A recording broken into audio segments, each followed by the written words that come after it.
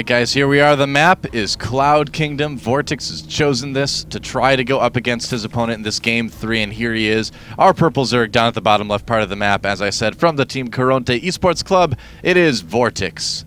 And at the top right, we have our red Protoss player currently up 2-0 in this series, Star StarTale's Squirtle. He's quite good. He uh, is a Code S caliber player through and through. He's been around the GSL for a very long time. And uh, even though he got to the finals and did not win, I would not be surprised at all to see this guy get back to another finals at some point in the future. Is he still in the Code S running right now? I don't, I don't believe so. he is no. this season, no. But I'm just saying, in the future. Yep. So they're in the Yeah. semifinals right now for GSL, I believe. Yeah. So it's uh, MC, Seed, DongRaeGu, Mhm. and I know I'm forgetting someone, and now I'm sad. So, oh well. uh, yeah, it's I, I believe, uh, yeah. Well, I was gonna say Seed, but I was trying to think of Protoss players specifically. But, um, and you know what? What I kind of want to mention this because right now it seems like if a player does well for like a month or two and then starts to like not do well for a month or two, people are like, oh, he's done, Terrible. he's washed up. Get But out.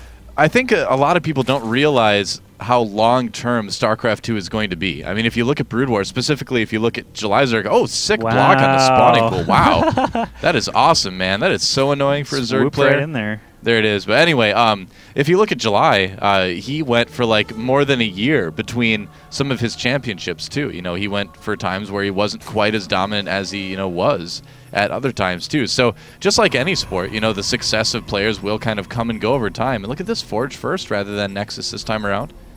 All right, All so switching it up a little bit Yep. based on not very Ah, much. and that's why I mean, because he, did block with that pylon there. Yeah, once he got that spawning pool block, he was like, "Oh, I'm for sure gonna land a pylon Yeah. this time. No ultras are gonna come stop me this time around, or double drones or what have you." But uh, Vortex chasing Ultra around this probe. I don't even know if yeah, Vortex does know obviously about the pylon. He's got an overlord. Oh, of course, yeah. Uh, over there, but ooh, he expanded at the different location instead.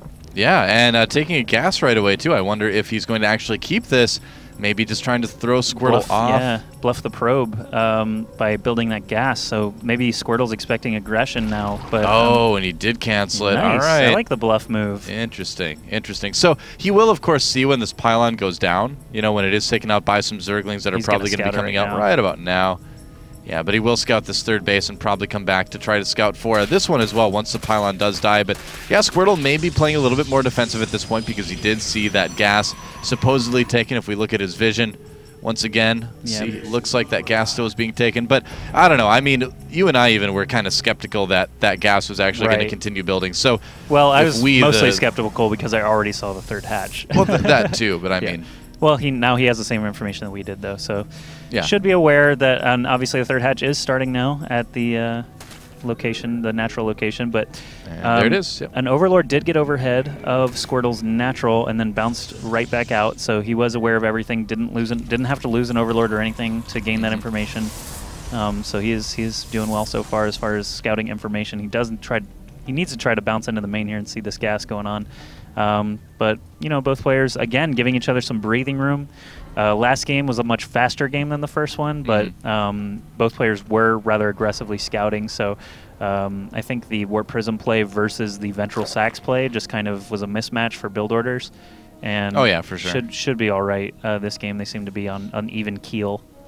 Yep, I would definitely agree. I'm really curious to see what Vortex decides to do. Now, uh, Squirtle actually lost this map against Coca last week. Uh, Squirtle, if I remember right, tried to go for, I want to say it was 7 gate plus 1. I watched a bunch of his games this morning, so I might get them confused. It's not going to be that this time, obviously. He's going for a Stargate, but uh, in his game last week against Coca, I believe it was 7 gate plus 1 off of two bases. Um, he was never even really able to get aggressive because of the amount of spine crawlers that Coca had here at the third, and he tried to expand after that. Coca just basically ended up getting Brood Lords and taking a little bit longer, well played game. We got a Stargate coming up. Yep, we do. It's going to be delightful. There it is. Will he build a Void Ray? Probably, because he doesn't have plus one going. So we'll have to see what he decides to do. I would not be surprised at all if we did see a Void Ray just to kind of start clearing out Overlords, and then he started some Phoenix production as well.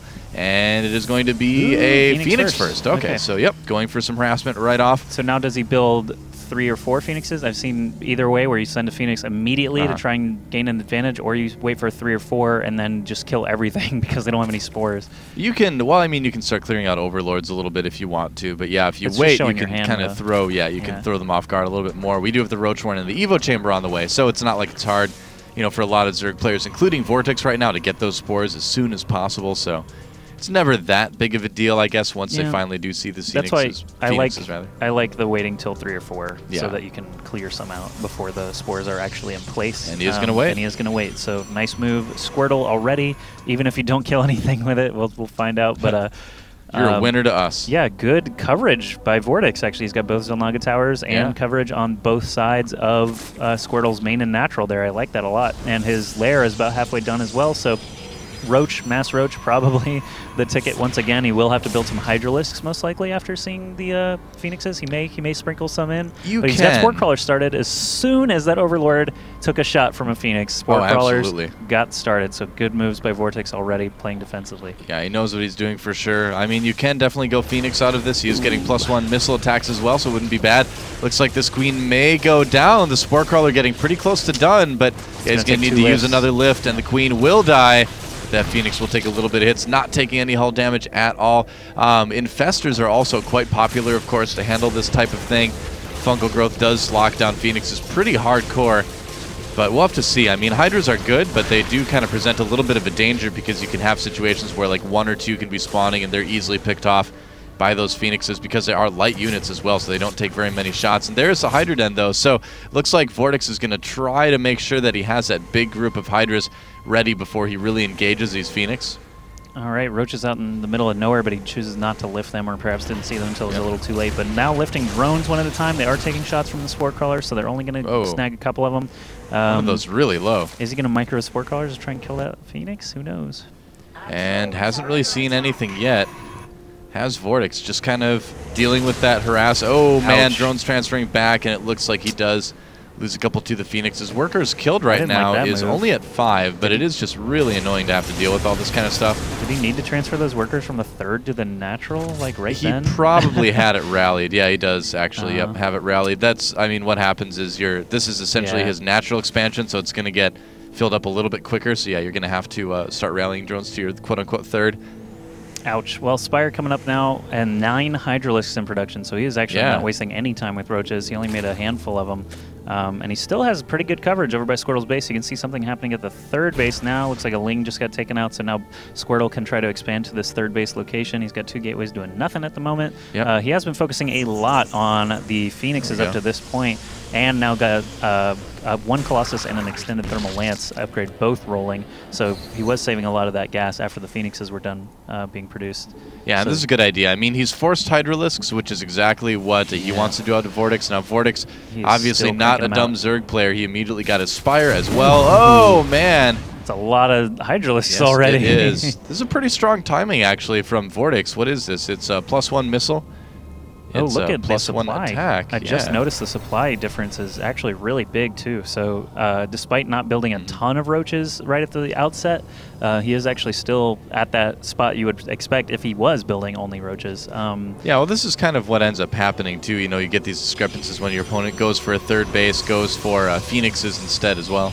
Plus 63 supply, and you know 20 of that is tied up in roach production right now, but they're Mm-hmm. starting to pop out on the field. He's going to get an interesting angle here. Uh, Squirtle does not have map have map vision to know this is coming from this angle, but he's still just pr- positioned so well Wow. to be able to help against this. Is he? Yeah, he's pooling for two different angles of attack here, so he's going to force a lot of force fields out of those sentries and just try to skirt around. Uh, he's trying to focus the Colossus from the bottom side. Might get it pretty low, but the Hydralisk is doing great damage to the sentries here. Uh, once these force fields go down, this is going to be a, a a very good attack actually from the top side. It looks Yeah, like. one Colossus goes down. More roaches coming in from the bottom as well, and that is a lot of Hydralisks. The one Colossus trying to micro back. Wow, look at that micro Goes with the in. Colossus, but will it be enough? No, he's going to end up losing that for sure. Wow, there's a lot of DPS here. The Phoenixes come back to lift some of these uh, lift some of these Hydralisks, but if he turns the Hydras onto the Phoenixes, yes, he will be able to save them. and- GG.